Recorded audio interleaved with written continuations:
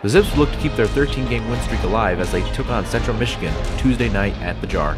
Central Michigan was able to find the game's first points, but the Zips would answer right back when Alex Abreu fired a three to get the Zips going. Later in the first, Alex Abreu was able to find yet another three to bring the score to 13-3. In the final seconds of the first half, Carmelo Betancourt was able to knock down the buzzer beater to give the Zips a 28-27 lead going into the half. Akron would return to the court and start off hot with three made by Drake Kretzer. The crowd is on their feet near the end of the second half, and they would not be disappointed as off a loose ball, Alex Abreu finds Demetrius Treadwell for the dunk to bring the score to 59-56.